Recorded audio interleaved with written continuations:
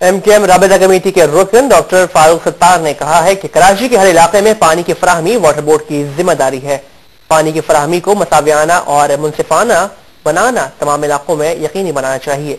Karachi water and sewerage board के अफसरान से गुफ्तु करते हुए उनका कहना था कि मेरे हल्का इंतखाब में माह रमज़ान से पानी की शदीद किल्लत है, जिसके बायस उन इलाकों में करबला का समा है और शहरी शदीद मुश्किल और परेशानी का शिकार हैं। अवामी नुमाइंदगान अवाम से बरह रास्त रबते में रहते हैं और उनके मसाइल से हम वक्त आगाह भी रहते हैं, जबकि शहरियों को पानी की फरहमी भी हमारी अव्वलीन तरजीहत में शामिल है। और हम किसी कीमत पर यह बर्दाश्त नहीं करेंगे कि कराची के किसी भी इलाके के मकीनों को पानी से महरूम रखा जाए।